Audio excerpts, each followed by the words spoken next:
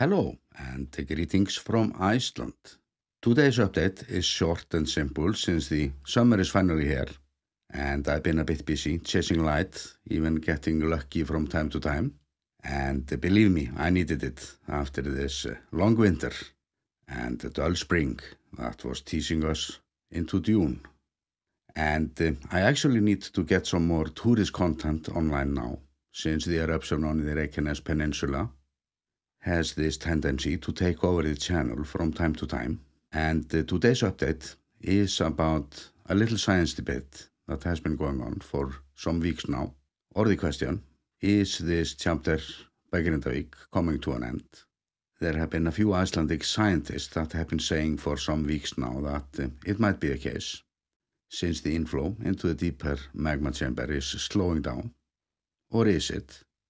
So I've been a bit reluctant to make any predictions for a while, since uh, I wanted to wait for more accurate data when it comes to ground uplift. And now it seems as uh, we have enough data points to see that uh, the curve indicating the land uplift is getting uh, just as steep as it used to be. And the Met Office is telling us to expect eruption number 9. So this is not coming to an end. No such signs yet. So sadly, it looks as the countdown for eruption number 9 has started. But when, it is a bit too early to say. My wild guess is somewhere between mid-August and mid-September. So this update will cover some of the possible scenarios and what we are doing or not in order to prevent uh, the worst case scenario, which uh, has to be to see the power plant go under lava. Since uh, as for the town, most of the damage has already been done. The community as such has already gone under, although the houses are still there, empty. And I think it's more likely that big parts of the town will survive rather than the power plant and the Blue Lagoon. And that has to do with the topography. It's uh, easier to divert the lava away from the town, even into the sea, than to prevent it from accumulating in this almost uh, a hole where the power plant sits. And I am not seeing the power plant handle uh, many eruptions more, to be honest. Like, uh, this is one of the locations where our luck might run out. Like, uh, if an eruptive fissure would have opened up a little bit further west, it would be a hopeless battle to rescue it. And as for the lava defense walls that saved us last time, it gets uh, harder and harder to handle those lava floods, especially if the interval between eruptions grows uh, longer and the eruptions grow larger, which uh, is likely. So as I see things now, it's either to secure the power plant properly with no ordinary structures or maybe it's just time to think about to move the power plant to a higher ground since longer pipelines from the geothermal wells is a technical solution that can be done. But another problem is the fact that uh, there is no easy way to find some uh, safe ground around there or perfectly safe. But today the power plant is at the worst possible location. It is as simple as that.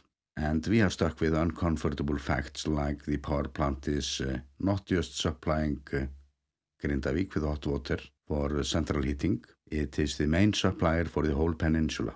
That is what makes this so serious.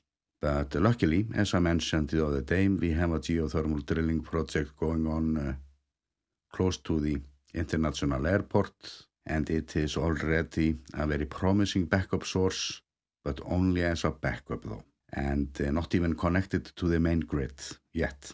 And the power plant does also produce electricity. That could be a problem, but uh, easier to fix though. And overall, I'm just saying that despite the fact that I'm optimistic in general, we need to focus on the backup resources now, since uh, we might be looking at three or even four eruptions annually for a long time. And the only way to make any realistic plans is to write off this power plant on uh, papers like a total loss, which is not unlikely in reality and uh, work on the backup plans from there. And I have to say that I have not seen such uh, solutions promoted. And wishful thinking is not going to keep 30,000 people warm next winter if the next eruption turns out to be bad. And uh, as for Grindavík, the town is already almost empty. The state has bought many of the residential houses. All residents have moved out and uh, we can't do much there but to try to protect the village and the uh, infrastructure. But uh, if the power plant goes under, it will be very complicated to keep those houses warm until such time that people can move back. And this is where some might say uh, people must be crazy if they want to move back to this place. And uh, since I know a bit about the mentality there, if this would come to an end, the town would of course wake up. Many of the former residents uh, can't wait to get back. Not all, of course. My very quick guess would be 30 to 50 percent that would return, even less. But note that uh, I'm only talking about the former residents.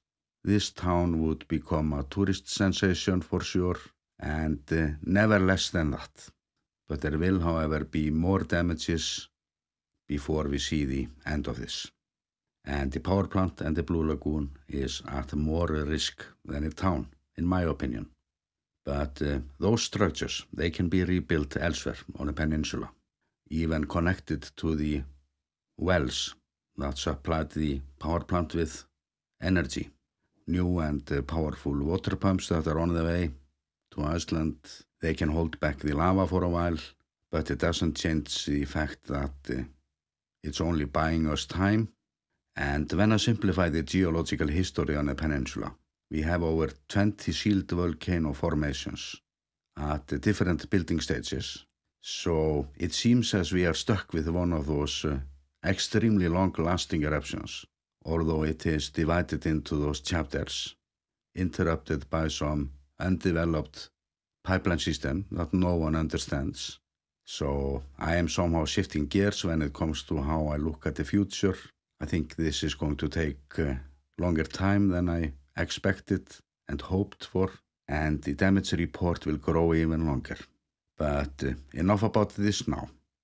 And uh, let's talk about the Bárðarbunga volcano that just got hit with two earthquakes and the frequency of uh, the larger earthquakes. It's still within the norm, so it's not a reason to make a video about it now. I have older videos on this uh, same topic that uh, explains why. But uh, I'm mentioning this now because uh, earthquakes like that tend to pop up in my comment section. And uh, my plan now for the next weeks with the channel is to use the time between filming trips to do some editing. So I might not upload just as much as I've been doing lately, but I will do my best of course, especially when it comes to my shorter videos, since it's a bit harder to get those longer uploads online when I'm also chasing the summer weather. Like I was just about to upload a video about uh, my last two volcano tours, a long version, when the sun suddenly appeared. And uh, during good days, I don't even know where I will be tomorrow. Only thing I know for sure is that uh, I will be close to my camera. And uh, with that, I'm sending you best regards from the volcano island, Iceland.